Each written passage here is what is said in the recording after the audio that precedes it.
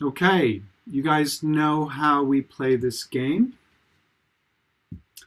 Um, welcome everyone to uh, forum number five.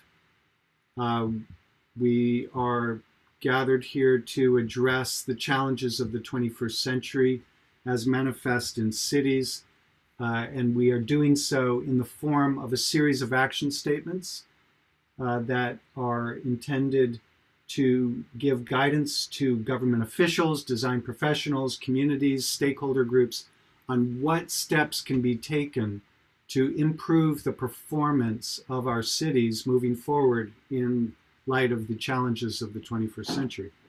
Uh, so uh, this is broad ranging. It is not limited to the usual package of architectural issues. Instead, we embrace the fact that uh, architecture is serves as a catalyst, as a vehicle, as uh, as a as a built environment setting for all of the forces that come together uh, to operate in cities, uh, economic, social, uh, issues of social justice uh, are, uh, and in the environment and sustainability are at the core. Um, and so group five, because of the problems that group five address, uh, faced, group five is going close to the end, and I'm seeing a request from group eight to also uh, have a little bit more time. Anybody else need a little bit more time to get your act together? Okay, excellent. You are all good sports uh, in the face of uh, Zoom collapse that we're all experiencing today. Um, just a reminder, um, one of the things that I do the second I open a slide is I increase the size of the video uh, as far as possible so it fills up the screen without covering uh, the text at the bottom. The next thing I do is I uh, click on the video, I go to uh, Format Options, Video Playback, and I click on Play Automatically and Mute Audio. That way, as soon as your slide comes up, the video is going to automatically start playing. You're going to give a live uh, presentation uh, that will take about a minute or less, no more than a minute, presenting the evidence as support for the action statement that your group is proposing. And uh, so we want to begin with the action statement. One of your colleagues uh, figure out who's going to introduce it. It might be the person whose evidence comes first. And this week, because we have a little bit more time, let's see what happens if we present every slide. So it might, uh, we would appreciate it if your slide has uh, a big, uh, a, a big contribution to make in support of the action statement. Take the full minute. If your evidence is a repeat of evidence that was presented previously, uh, we welcome you to take less than a full minute because you're simply adding on to a message that has already been presented. Before we get started, are there any questions about our community forum action planning session?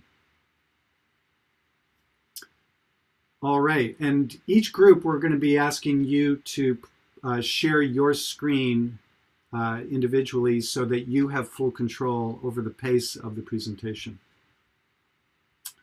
All right, and I'm going to be moving group eight to the end uh, based on Emily's request.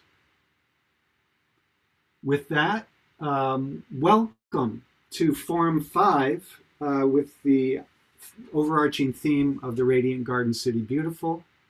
Um, let's have group one.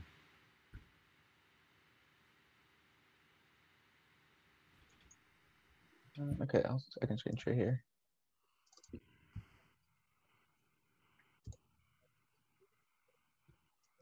So uh, our action statement was to prioritize human scale in the urban landscape through the programmatic allotment of public space. Um, and you can see here, this is the city of Brasilia. Um, and you see how these large uh, residential towers sort of based upon and building upon the idea of the radiant city um, take over a lot of the vertical space, allowing a lot of the ground space to be opened up as public space. Um, and also the large stretch of road that runs through the center, sort of connecting this uh, area of the city with the next. Um, but these ideas actually create sort of loss of scale. And as you can see, sort of viewing from the street level, um, these towers are actually massive and don't sort of correlate to the human scale at all. Um, I guess I can move on to the next.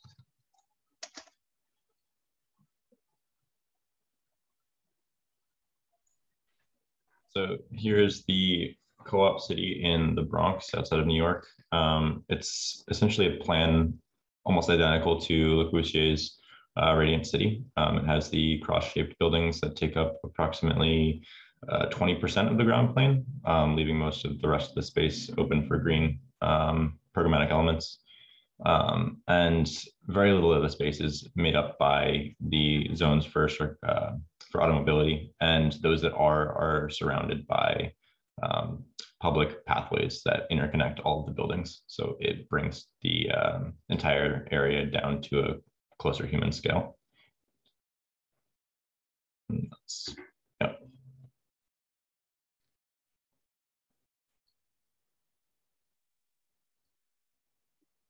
This is also another example of the Bronx in New York, Co-op City. Um, here it's like how Logan said, they took a uh, Le Corbusier's idea of a radiant city and implemented it into this area where these large buildings, which can house a lot of units and a lot of program, which is very effective for land use, and then have this very open green space on the lower levels for any recreational spaces or any needs that anybody needs for events and stuff like that. So it really was effective towards this side because it's very open and vast and the spaces can be used for different things. But the only issue was um, a lot of these places are very off to the side. So the, for access, you would need some sort of transportation or vehicle, which is a downside to these large cities.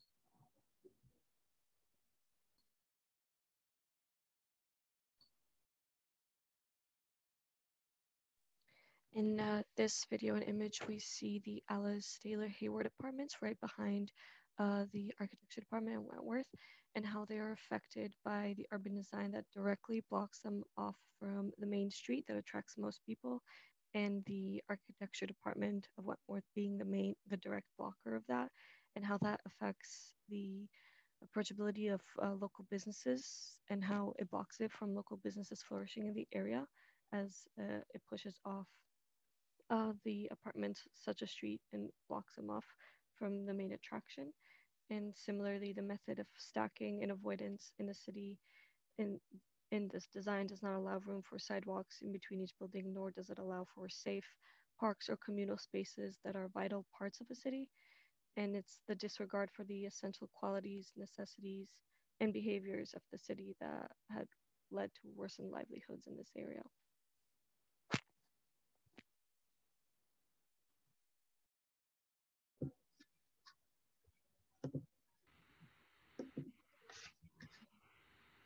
Uh, we invite the final presenter to make a summary statement. Okay, so this is uh, one last example of um, really bad um, new housing developments being established in zones that are um, already isolated. Um, and so you can see isolation from the Orange Line, the Arborway, and a bus station depot. And it basically establishes this new housing development which is already out of scale for the local area. Um, it just makes it into a really poor place to live.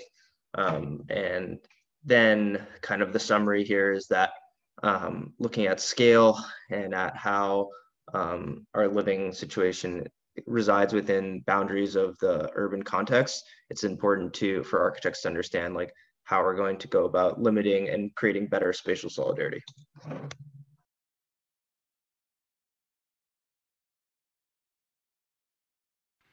So no need for any comment. Um, let's keep the presentations moving. Um, we will invite the public to a question and answer session at the end of our presentation. So group two.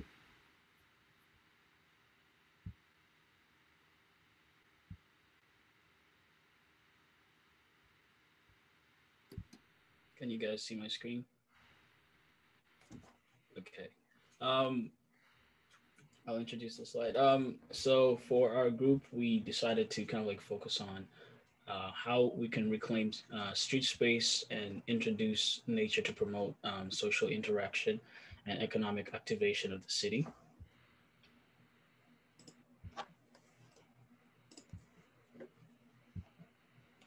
And so within this image, we can see the reintroduction of the Chiang, I'm going to destroy this, but the Changcheon or Changcheon uh, stream within Seoul, Seoul, South Korea to allow for a communal space for all residents to find a um, area to relax and an area to enjoy themselves that would have been lost due to the major highway that was um, covering the river. Um, that was implemented many years ago, and they just completely ignored the river and almost destroyed it in the sense that they would rather have the vehicular tra transportation than to allow for the community members. So with the reintroduction of the stream, it allowed for the residents and the community members to find a sense of um, togetherness within the area that was otherwise not there.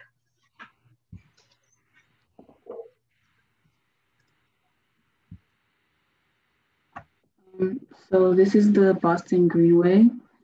And um, prior to the Greenway existing, there was a turnpike that um, existed throughout this entire uh, span of land, which did not help the uh, pedestrian traffic and it reinforced the industrialization of this area. So um, when the Greenway was established in 2004, it allowed for pedestrian communi communities to grow, as well as the um, interactions between the financial district and the seaport area. Um, also having little to no parking spaces and small other economical um, issues, but it does and for for better greenery and interactions for pedestrians and potential vendors. Um, I also uh, focused on the Greenway in Boston and showing how kind of like the introduction of uh, the green space kind of like created this um, um, nice um, hiatus uh, to break the urban continuum and kind of like introduce areas where we can you know promote uh, like social interaction uh, between the people coming from the financial district to the seaport as well as um, economic activation of the city as kind of like food trucks and you know other small businesses uh, kind of like uh, were reignited due to the you know the influx of people using uh, the greenway. And um, kind of like uh, our, conclusion is kind of like uh, the reclaiming the reclaim, reclamation of street space kind of like uh, introducing uh, the greenery and the water body kind of like helped break the urban continuum and prioritizing the human scale, which promoted you know social interaction and um, economic activation of the cities. Excellent. Next group. So for ours, um, let me just make this um, it was to create and implement public space around the monument in cities to allow for interaction of life amongst all populations.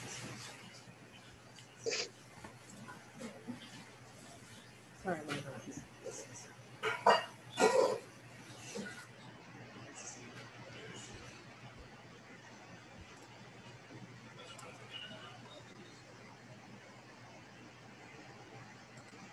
Rocky, are you there? Yeah. Can you hear me? Yeah. Um, so this is the holy city in Saudi Arabia. Um, this city has been around since the seventh century. Holds um, like immense uh, influence and importance to a lot of people in the world. Um, but in recent times, they've started to create like a border of like buildings surrounding the public spaces um, within the city. Um, and these like border buildings they house uh, businesses that are kind of only accessible to like the upper class like population. Um, so as time goes on, there's more developments being created, and it kind of starts taking away the essence and the true nature of what the city like represents to a lot of people, and it starts like um, kind of becoming like an isolated city that's only accessible to like the upper class. And then for this, um, it's kind of more of um, how the basilica interacts um, within the the city and how um, implementing local gardens that provide an urban environment that surrounds the area of the basilica and mosque um, and forms separation towards the building. So to like summarize our um, proposal, kind of start extending these public spaces like parameters to allow for interaction of life amongst all populations, not just class populations, but also um, doing so it allows for uh, innovative like ways to like um, implement like transportation to these spaces, whether it be through like buses or pedestrian pathways. Um, so kind of like pushing away like developments and just like leaving the the monuments to be this like public gathering space um, that was its uh, original intentions.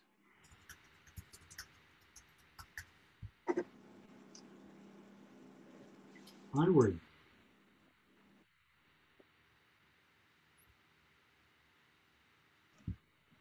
So um, our action statement is to reduce lanes on all large roadways and fill newly acquired space with dedicated to public transport, transit lanes and pedestrian spaces.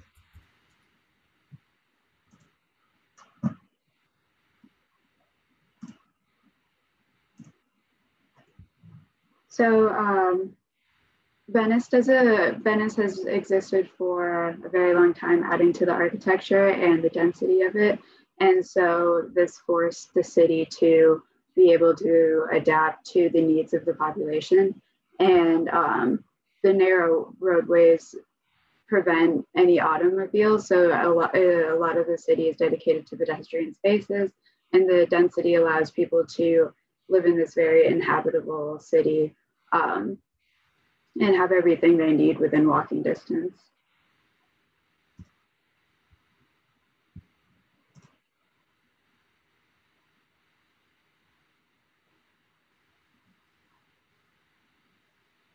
Alex, are you there?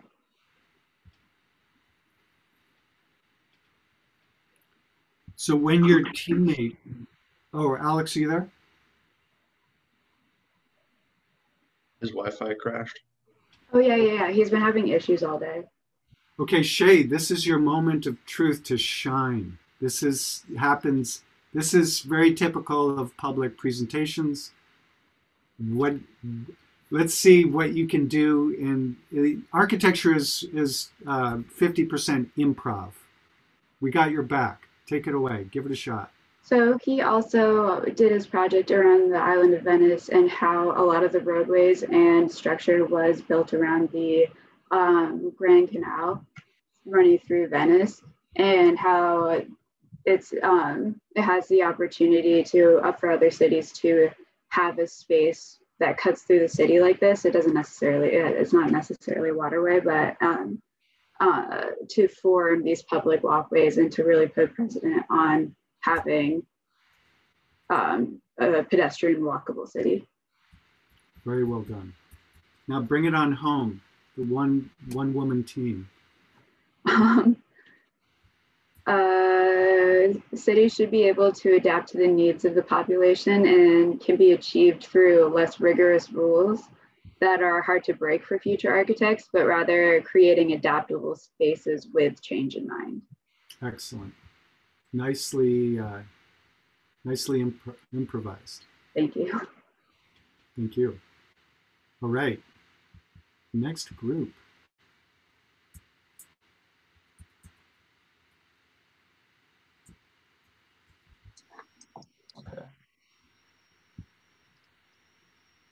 So my group decided to analyze cities that specifically follow the City Beautiful movement model. Um, and we decided to analyze where this model proved to be successful and unsuccessful in specific cities. And what we came up with was we need to integrate more like pedestrian friendly walkable path to connect these open green spaces to the rest of the neighborhood in order for them to be successful. And so um, in the city of Philadelphia, uh, we're seeing this is Benjamin Franklin Parkway, and uh, we see this visual corridor, these accesses through the roads um, that we're seeing. However, these roads, you can barely see enough space that accommodates for pedestrian activity, but they're mainly like centered around automobiles. So what they're doing is rather cutting through these public um, green spaces at rigorous angles. Um, there's little building integration within the site. So the idea was like there's less eyes on within these spaces and there's not that much movement or um, pedestrian flow. And so rather than becoming a space for social um, interaction, it ironically can become more of a space that um, is more suited towards like any activity because of the lack of um, passive policing. And so it could actually become a place uh, that's more dangerous.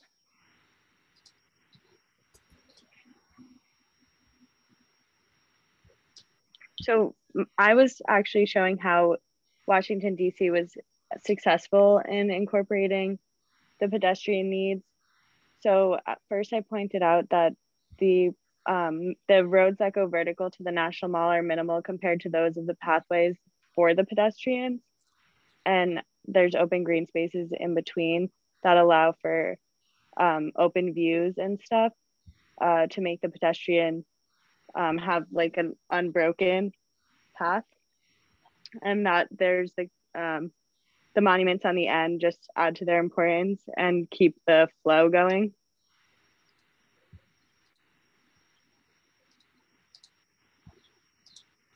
And then for mine, I looked at the um, Palace of Versailles that's in Paris, France, and how its local um, pathway leads people from the available garden space that's in the courtyard to the entrances of the of the palace, because it allowed because as that um, garden was just like an open space for as people are waiting for the uh, opacity of the um, of the visitors in the space to be reduced, they are able to like roam into the garden and interact more amongst one another.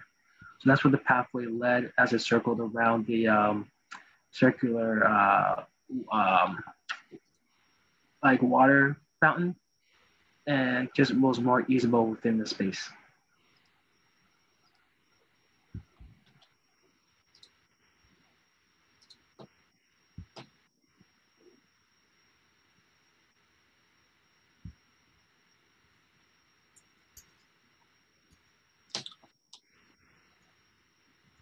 Um, I guess Tony is not here, but she essentially chose the same um, place as me, um, and it's essentially talking about the same open green spaces within the Benjamin Franklin Parkway, um, and how the streets sort of divide this parkway, and so um, um, where there's less pedestrian activity, and so what um, to conclude everything, the idea was it's not enough to just integrate green spaces and think that it's going to promote social interaction and promote more like um, social reform. But you need to we need to integrate more accessibility and walk um, pedestrian pathways to connect um, these public spaces um, with every um, within the rest of the city in order for sort of this um, to become more of a lively and active space.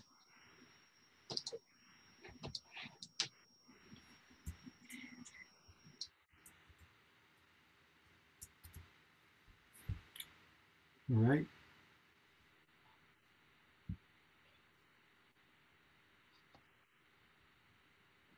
Who's next? Oops. Can you hear me fine? Yes.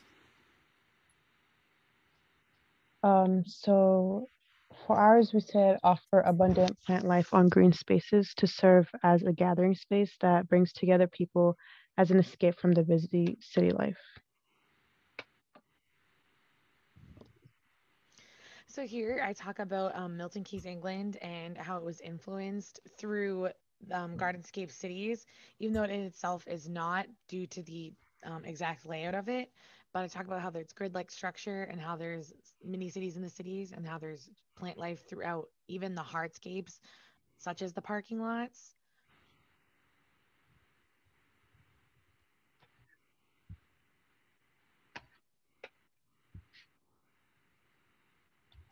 Um, here I talked about the Clyde Warren Park in Dallas and uh, um, how the park is surra- uh, well, in this busy city life, there's a park in between that serves as a gathering space and how there's um, concerts, films, and physical activities that take place. And it's a, it's a form to um, get people to take a breather from their busy life.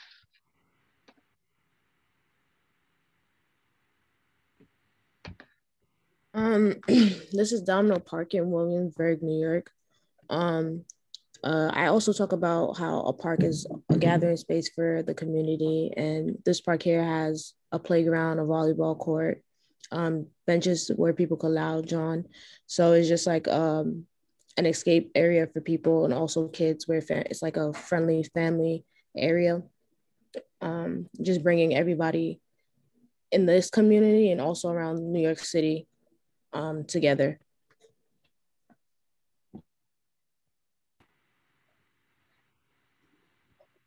So for our conclusion, we decided that um, part as Parks are um, is use an escape from busy life. Um, since if we put more parks in, this would increase the value of land and increase rent. And the but we need green spaces to escape the busy city life and bring people together. Excellent.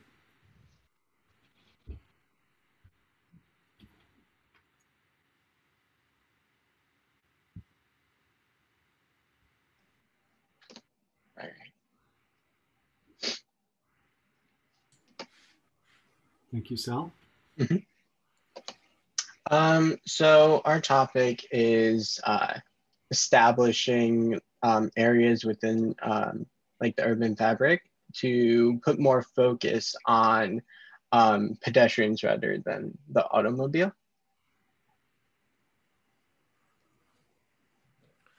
Right. So in mine, I looked at Orsted Park in Copenhagen. So in in Copenhagen, they have what they call pocket parks or small urban green spaces, and it ranges from like just small public green spaces to large full-on parks.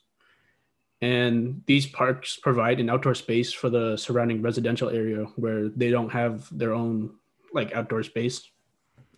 And it gives them a space to socialize, but then also relax and and rest.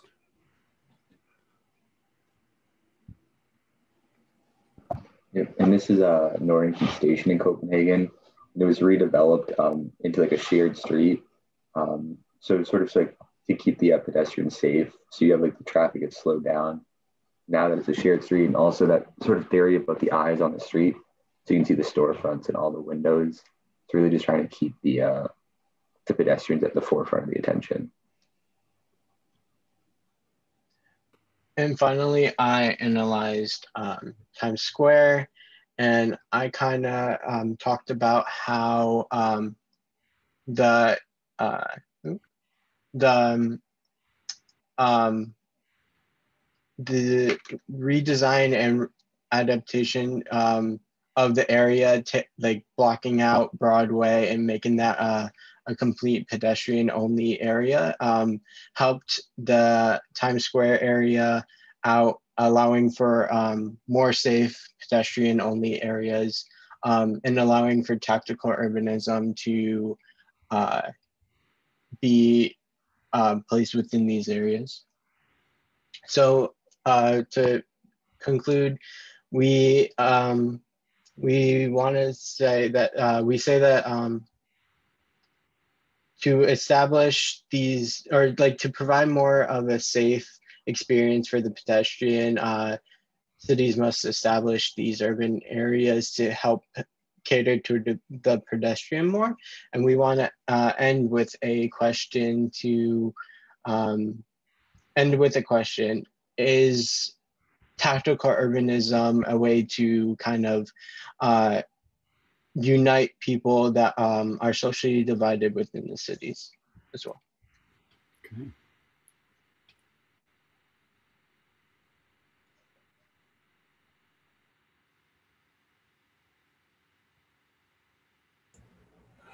Uh, so for our section, um, we wanted to focus on breaking up congested city grids by implementing a hybrid of green spaces within streets and public parks.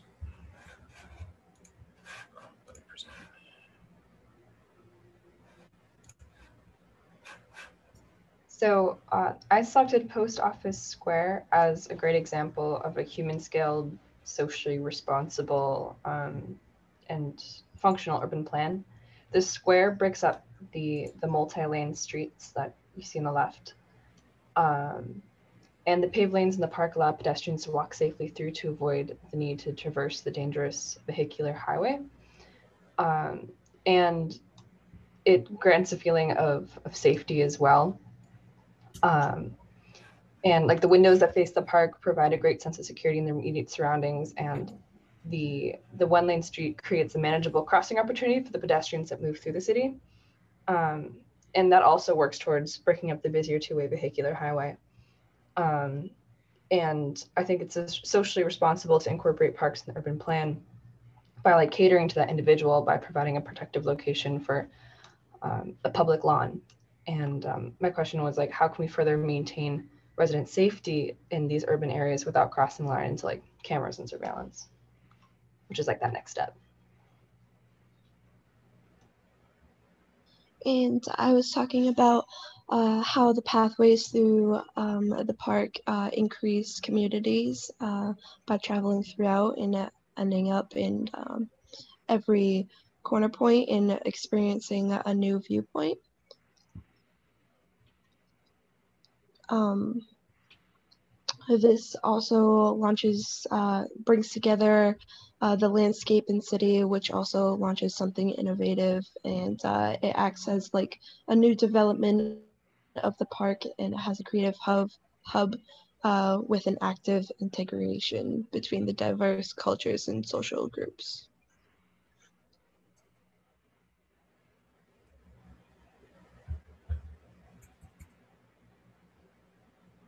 Okay, so um, what I did was I um, did um, Melbourne, uh, Australia, um, they use the greenery space to generate um, enormous and economic um, and environmental public health benefits in the city.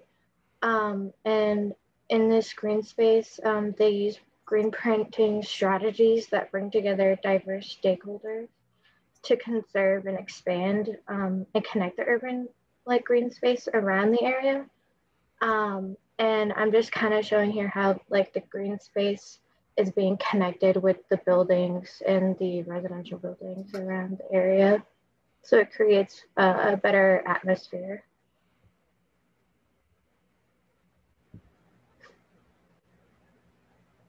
And then for mine, um, I use the example of St. Stephen's Park in uh, Dublin, Ireland, um, how you can take a large green space and kind of break up the huge systematic uh, grid, as our claim says, but um, using small paths within the um, within the green space or the streets themselves helps separate um, and define the spaces as well as like the facades of the um, existing buildings around. And then other smaller elements like adding water to a space also adds a nice um, light element that becomes somewhat scenic, as well as gathering space within it. So um, for breaking up our congested city grid, um, we kind of deemed that it's all about kind of like finding a way to separate one space from another um, and kind of trying to find ways of making a street or the park itself become green. Um, like for Carrington's example, of having a, a series of trees within the street, or um, for and Molly's parks, um, having uh, the abundance of trees separated from buildings, or Sophia's, where it's a series of paths within a green space.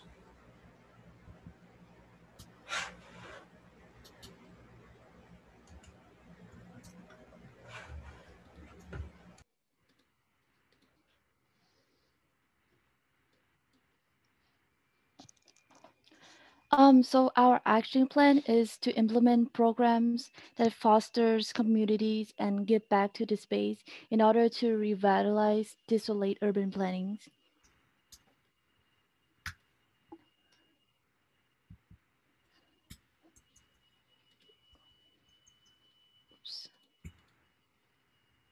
Sorry, it's not playing.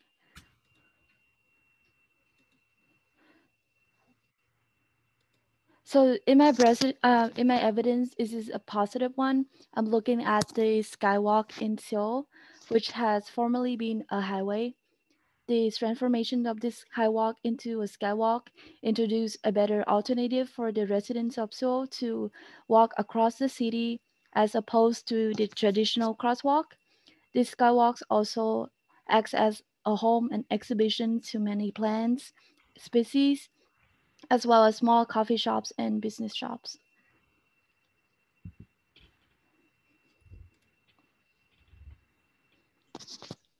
Uh, so here we have the city of Jiangji in Seoul, and this is actually a proposal to revitalize a public um, garage space that was um, underutilized and very much um, a lot of like hardscape that wasn't interacted with. So what this um, proposal would ask or like implement is that actually the introduction. Oop, this should. I thought it was muted. I'm so sorry. Noisy defined it as unwanted sound has long been treated. Oh, sorry, that was me. Oh, I was like, I don't even know if that was me.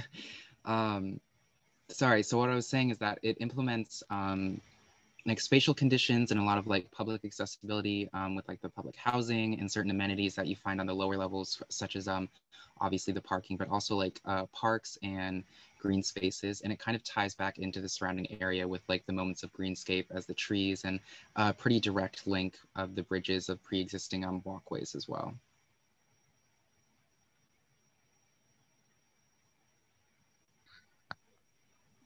And my example is the uh, garden by the bay um, in the Singapore. Uh, the gar the super trees uh, is a part of the uh, like government overall strategy to transform the Singapore into a city in the garden. So you can see uh, these uh, solar super trees uh, they just like act as a vertical garden and generating the solar power, acting as an air venting duct for nearby conservatories and uh, collecting rainwater, and uh, also like some uh, virus ferns climbing across in, the steel framework. So uh, it's like um, as a temperature moderators and uh, providing a shelter from the hot temperatures uh, of the very hot climate in Singapore, like to visitors working in Venice.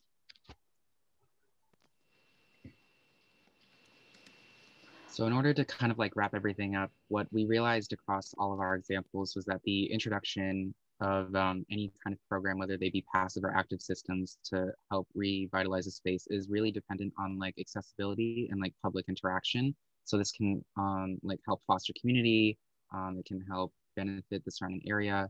But um, a question that we had was like, you know, without the implementation of these really um, expensive or potentially expensive systems, like, is there a more passive option to like kind of reform these spaces?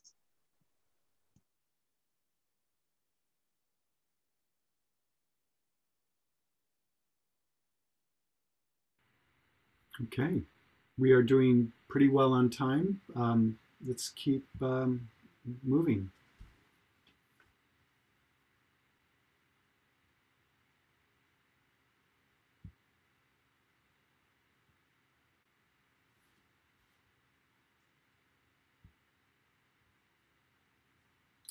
So, uh, Sorry, I think my computer's being slow.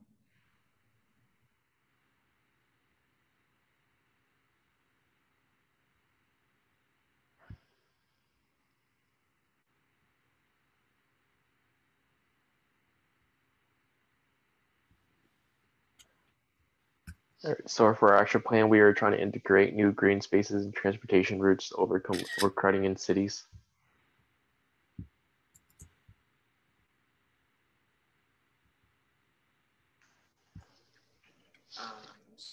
This is like what I picked. So the site is like located in, in, Melbourne City in um, Australia. So as you can see, the neighborhood is sitting close to the major road and highway.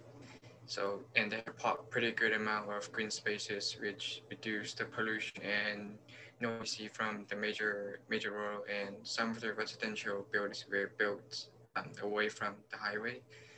So basically, essentially, they use green space um, to reduce noisy and mitigate it by keeping the residential areas away. Um, so therefore, I think the green space uh, plays a significant role in terms of um, health quality of the site.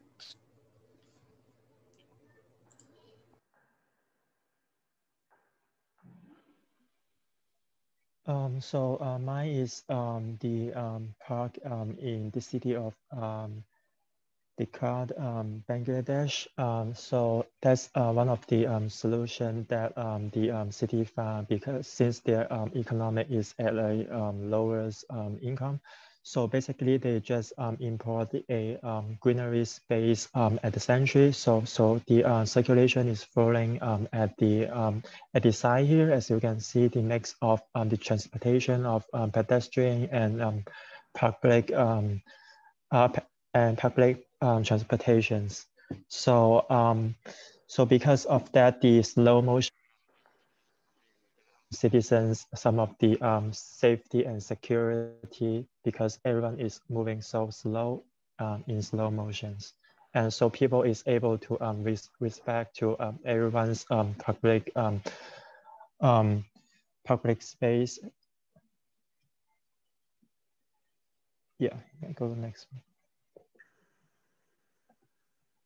Okay, so for my location, which is located in um, Xiamen, China, um, there's a bikeway that joins the city's highway that overpasses the um, bike path, and the Skyway enables cyclists to safely and efficiently move throughout the dense core of the city, um, which is consisted of 4 million people. And the Skyway runs in a straight line parallel to the city's raised um, rampant transit system, which really spaced rest areas and multiple um, access points to reach local businesses, shops, and restaurants.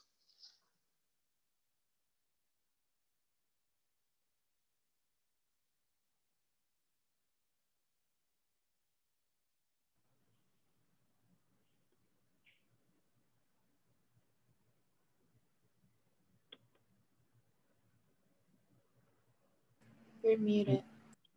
So uh, Oz or Braden, um, do you want to? I'm just like, I'm still seeing Braden's screen. I'm just clicking Yeah. spacebar. So and Oz, you are you're controlling. You're showing your screen. So now you would move to the next slide. No, I know I've been pressing spacebar, but Or try the a, a, a forward arrow or down arrow. Or Mhm. click on the slide. I'm doing both. You know, I'm just gonna escape. Okay. So this is where someone else in the group shares their screen, um, because that's how good we are, right? So I would do, if I was a member of the group, I might um, click on share screen.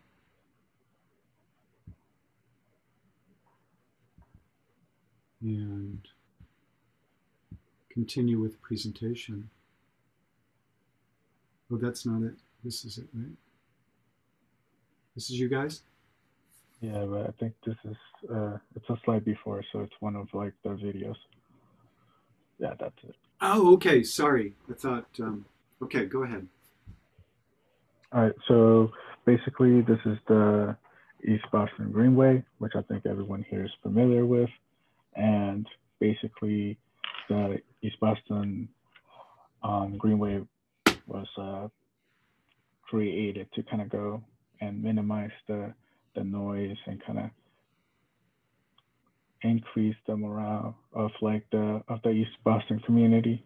So residents would have this place where they could go and be more at peace and kind of have less anxiety and distress and be less stressed. So, which is something that green spaces are highly used for, that connection to the many residents around it to kind of have the space where they can go walk their dogs and um, actually have time to get away from their busy lives and be in a less, in a more quiet environment rather than a busy concrete jungle, which is most cities. Especially the traffic, right? And so Mhm. here's your chance, Oz, to bring it on home. Okay, so basically, um, our whole our whole thing was that um, we are looking at all this designs that basically have the same type of um, product where it's like they want to um, integrate like this both screen spaces but spaces in, gen- in general and the circulation routes that will like overcome the problem of like overcrowding in many cities where you want spaces where people could inhabit and get through and especially dealing with traffic the, the problems of traffic right? Exactly. okay. All right. And i'm hoping that um, group five is not taken by surprise that um, when we delete the slides that are not um, relevant, we end up with group five next. Are you ready, Carvins, David, Kiara, and Tony? Um, we actually went. We went at five. Is what? We already presented. You did. Yes. Yeah, we just went when we were in the in the beginning. Okay, I apologize. Yeah, I think okay. I think our group that did presenting our okay. like uh, group A. Yes, Rex and Emily, take it away. Sorry about that.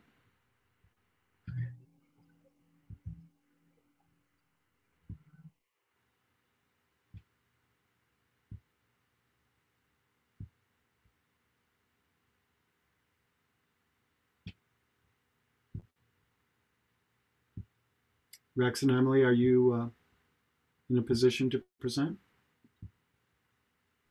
Uh, like a uh, I'm okay to present my part, but uh, we uh, Emily have some issue with her, uh, her internet, so that's why um, we didn't have too much conversation about the the copying our idea together.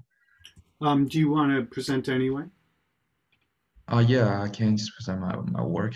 Like, uh, okay, and then we'll give Emily. We're all rooting for Emily. If anyone can help Emily get in here too, that would be greatly appreciated. This is what uh, professional teams do in the face of limited bandwidth.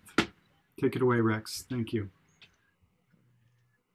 So uh, my example is like a Canberra uh, city, which is in Australia and the capital city of Australia, and the whole city uh, urban planning was based on the like the uh, the the big circles around the, like uh, from the center. So uh, like uh, they give like plenty of the space to the green areas and also like separate like distance from like each houses.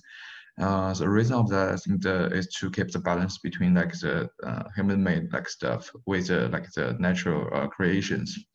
So like to give the, like more space to let people to enjoy the, the feelings of the, the nature stuff, to give like kind of like organic like uh, lifestyles and feelings for people. So um, probably that's it. I think that also uh, would be the better way to uh, uh, analyze and also to planning the future cities and to give the like healthy uh, lifestyle for the, the all the peoples.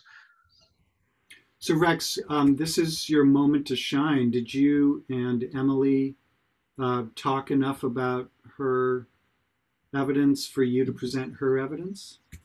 Oh, unfortunately, like uh, uh, she didn't put like her video into the slides, so that's why um, we don't have a chance to to talk about this. Okay, so I'm going to model uh, what we do um, uh, when our teammate uh, loses connectivity. We want to maintain a professional appearance so what we do is we um, we say um, that, like my excellent colleague Rex just presented, another capital uh, closer to home is Concord, New Hampshire, where the historic industrial town is located adjacent to um, uh, the river that once powered its mills and provided transportation that was the basis for the economic development of the state. In the 20th century, uh, the water, power, and resources were replaced by cheap petroleum, leading to automobile dependency and a division, a, barrier being introduced between the historic capital and its, uh, its uh, natural landscape. Uh, and so this supports the idea that in envisioning, especially the symbolically important capital cities of the world, uh, we need to uh, make uh, take great advantage of all that these important these charged spaces have to offer to establish a new culture of engagement with nature and to create a balance between uh, the man-made uh, items and the natural forces as we embrace the fact that no place is truly natural anymore. It is all the product of human intervention here in the Anthropocene. Thank you, everyone, for such uh, for listening. We now open it up to questions from the community, um, which is how we do this, right? So, do you guys have any questions?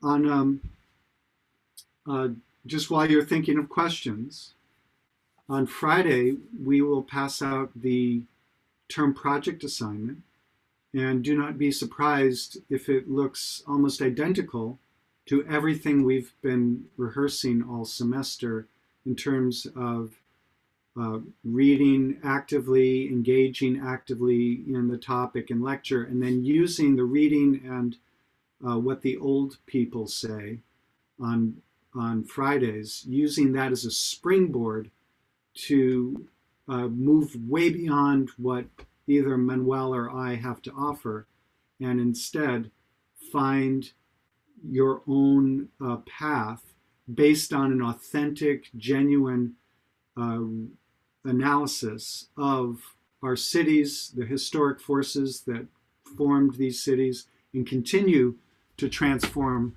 the built environment of the world for clues onto first, the most obvious things is stop making such serious mistakes and secondly, ask questions what can cities do to catalyze meaningful transformation in our world in the 21st century?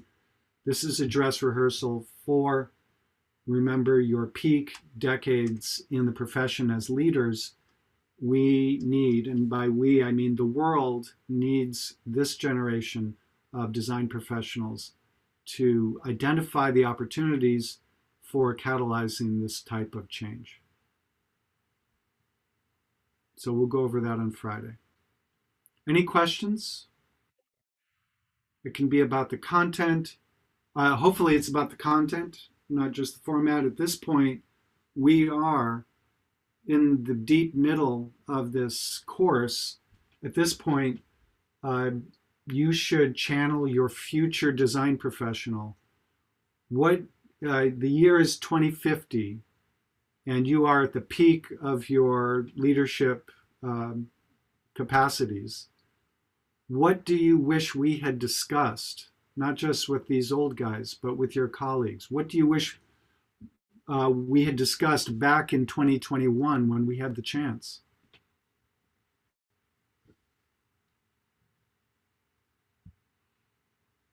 If you're not comfortable turning on your mic, then um, share your question in the chat.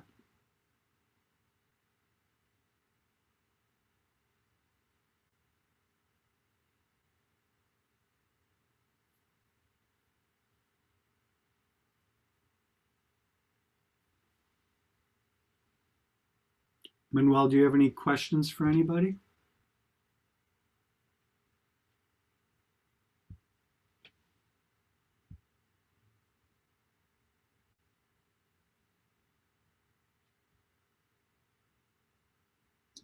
Professor you're muted.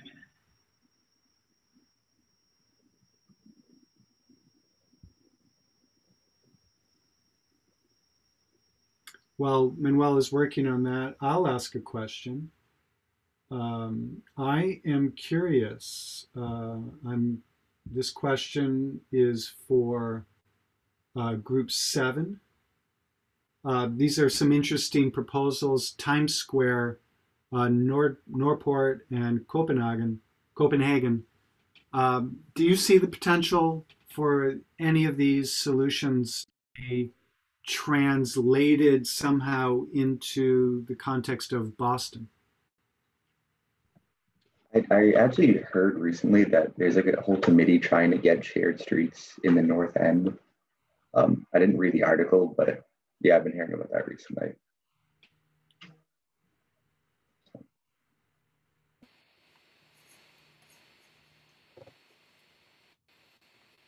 Anyone else from that group have a insight to offer?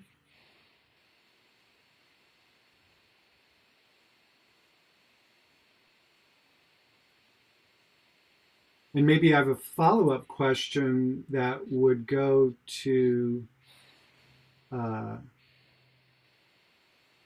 group one, uh, where we see uh, Brasilia and Co-op City and similar environments, especially the environment of the Wentworth campus itself. Do you see any of these solutions? Uh, what solutions do you see as having potential for having uh, an impact in the settings that, that the five of you uh, worked with?